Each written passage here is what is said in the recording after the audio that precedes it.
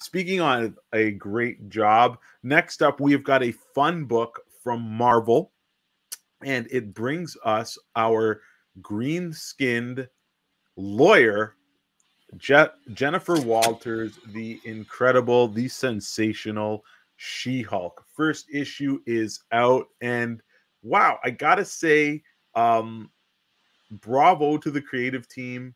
Um, this book and the character, uh, She Hulk has got a, a, a cool past in that her comics are usually kind of funny, a little bit uh, fourth wallish and stuff like that. John Byrne did an amazing run. That center cover by the artist uh, Stanley Lau Artgerm is an homage to the sensational She-Hulk by uh, Byrne uh, and stuff. And um, this issue actually it stuck it for me. It it really was able to deliver on multiple levels. So first off, we've got uh, she Hulk, and and we see her, and she's in her human form.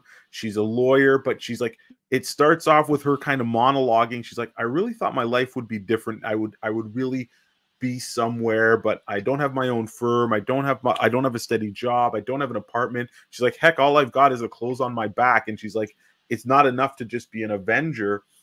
And uh, as she's just trying to get to her new job, she runs into an old villain, an old adversary that's just like, "Hey, uh, let's let's scrap. I'm in the mood to fight." And she's like, "Really? Why do we have to do this? Why are we doing this?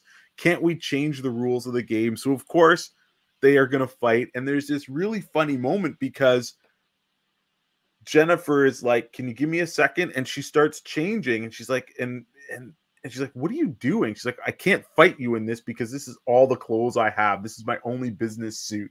And she's like, What are you going to do? Fight me in your underwear? And then she's like, I fought in a lot less. So it was just this really funny moment.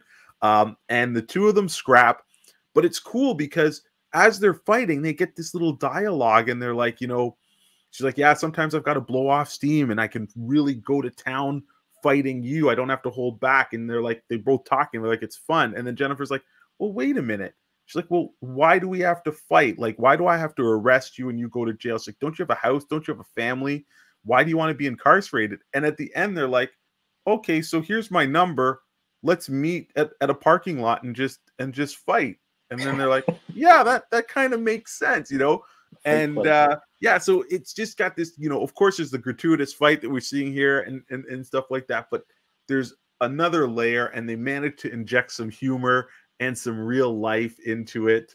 Um, you know, just just a cool start to this book. So I hope they can keep up this uh this level of of um balance in the book because I think it'll really be a winner and hopefully it'll give people a look behind that character so when the Disney Plus show comes out they will be able to relate to her somewhat. So yeah, definitely guys pick this book up. It's it's a lot of fun.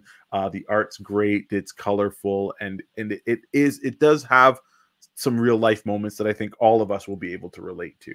As always, thank you for tuning in and continue to check us out Heroes World online that is where you're going to find us, all kinds of content. And remember, please, if you can, like, subscribe, tell a friend, help us spread the word.